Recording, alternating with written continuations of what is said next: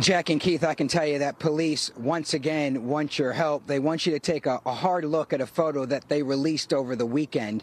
Meanwhile, Michael Garr's family is thankful and grateful for the support. We are completely devastated by the loss of Michael Jr.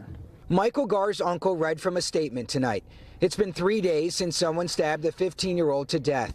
With heavy hearts and emotions overflowing, Garr's family came back to the scene in Drexel Hill tonight the outpouring of love and support has been overwhelming.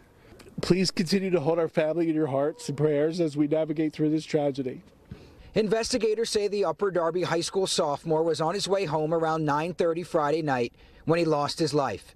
They recently released a photo of a couple walking hand in hand in the area at the time near Bridge and Ann Streets.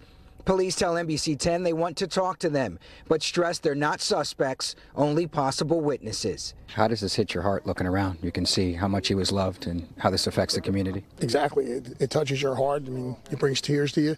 It's a tragic, horrific event from a young child who had his whole life ahead of him. A memorial continues to grow along with the heartache as reality sets in of a life taken too soon.